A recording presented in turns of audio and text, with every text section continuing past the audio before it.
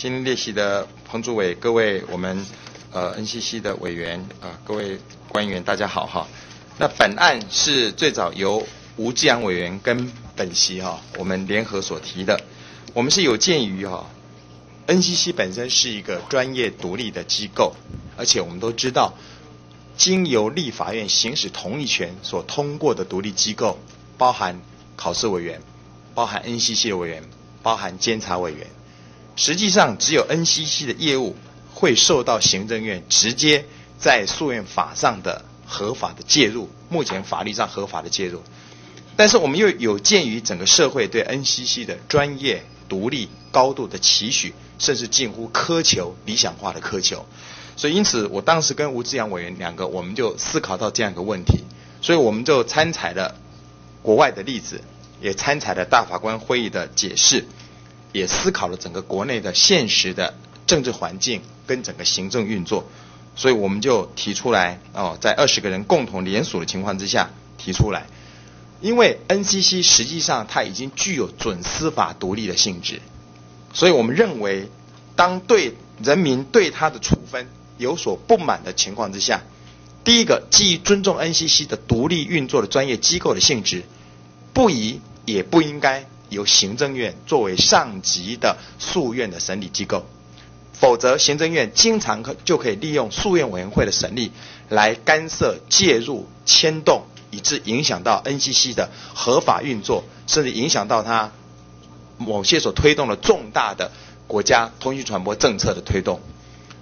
第二点，我们认为 NCC 本身既然它的委员是由立法院行使同意权所通过，所以因此它的独立的决定应该可以完全的负责。所以当人民对他的行政处分有所不满的情况之下，我们认为应该跳脱现行的诉愿审理的制度，直接进入行政诉讼的范畴。那可能 NCC 的行政主张会认为说，那是不是由本机关再来作为一个诉愿审理机构？那本席的观点，我也特别跟吴志阳县长特别我们也沟通过。我们认为，在目前这种情况之下，不必去耗费这样的一个行政的脐橙。因为 NCC 会做出一个独立的行政处分，我们相信是本于独立、专业、深思熟虑，而且对整个民间的业者、民间的情况有非常深入的思考，所以 NCC 不可能去草率的做出一个决定，说啊，丽娜没送啊，再来给我提诉愿。我们相信 NCC 也不会这样做。所以，如果基于整个行政权责的运作来讲的话，我们认为，既然要把行政院的诉愿审理权取消掉的话，就不必再有 NCC 的本机关本于行政自省的原则，再来进行诉愿的审理。意思就是说，我们就应该直接取消到诉愿这个层级，直接让不服的民众直接进入行政诉讼的境境界境界。那我相信这也是 NCC 可以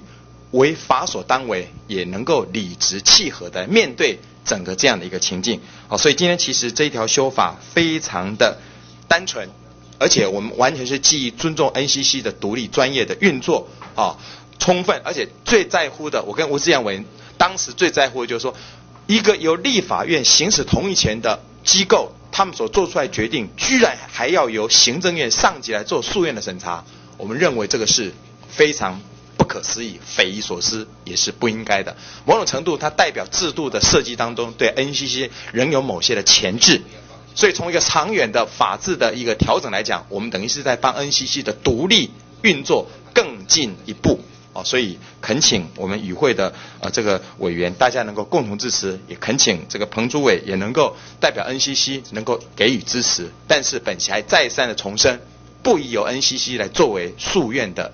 再审理的的的机构，应该直接进入行政诉讼的范畴，节省行政程序。节省人民的怨怼，来加速整个国家整个行政诉讼最后的一个定夺。我想这应该是比较中肯的公道的。好，谢谢大家，感谢。好，谢谢吴玉生委员的提案说明。那么由于这个啊朱凤芝委员呢，就是本案提案委员不在，那他有委托呃我们另外一位提案委员蔡正元委员一并做两岸的提案说明。那我们请蔡正元委员。